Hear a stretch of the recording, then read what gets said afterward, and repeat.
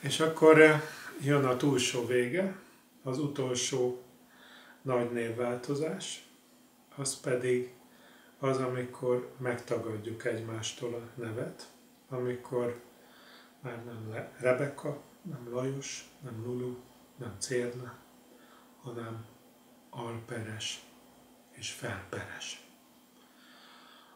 Ilyenkor érződik a leginkább az, hogy egy másik nyelvezet, egy másik névadás, egy másik értelmezési rendszer, az brutálisan el tudja távolítani egymástól az embereket.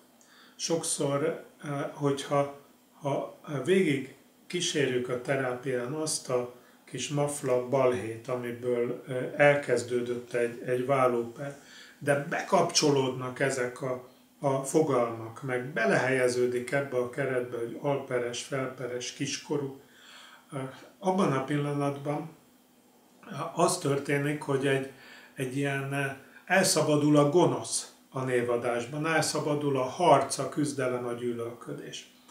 E, ezt részben azért mondom, hogy kerüld ezt el. Tehát tényleg kerüld el.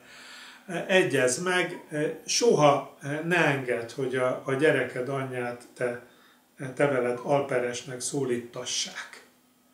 A másik pedig az, hogy ezzel tudom mutatni, hogy az a kis hülyeség, amin, amin esetleg eddig azt mondja, miért nem mondhatná a, a nagymama a Lulunak azt, hogy Lali.